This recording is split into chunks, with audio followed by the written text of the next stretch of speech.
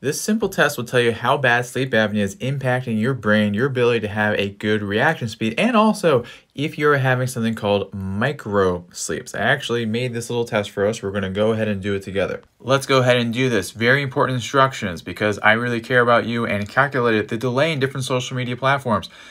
If you're using Instagram, you're going to press and hold when the screen turns green. Press and hold. YouTube, TikTok, you just tap once. There is a delay, so your score will be here for your on TikTok or YouTube. Instagram, you're over here. Let's talk more rock. Here we go. I'm gonna do this, and again, you do the required action when it turns green.